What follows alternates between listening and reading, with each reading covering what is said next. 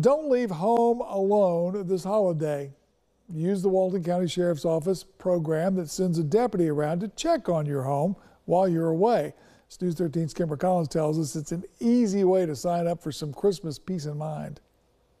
If you plan on a large family Paris vacation this holiday season, don't forget a kid and don't forget to tell law enforcement you will be out of town. To avoid any wet bandits this Christmas, the Walton County Sheriff's Office has a home security check program. We want to make sure that um, somebody's there to keep an eye on their house, so we offer the um, uh, holiday home checks where we'll have a deputy go by throughout the day, throughout the night to keep an eye on it for them. Homeowners can let the sheriff's office know a few details about the home so deputies can make sure everything stays as it should. How many lights are going to be on, what lights are on, what vehicles should be there, should not be there, those kind of things. If there's any neighbors that are going to be checking on it so we know if we find somebody on the property they're supposed to be there. The program is year round for residents, but deputies say it ramps up around the holidays when more thefts occur. This time of year it brings out the good and the bad of folks. Um, folks are looking for those presents that are unattended. Uh, porch pirates are looking for the uh, uh, things on the on the porches. So um, it, it, this helps us help them out, uh, and it helps us. Um, you know, we, are in those neighborhoods. It actually gets our officers out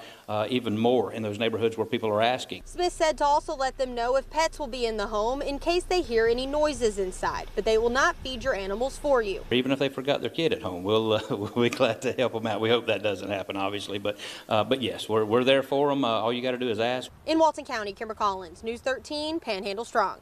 Deputies will provide this service for up to two weeks. To sign up, Walton County residents can contact the non-emergency number. That's 850-892-8111.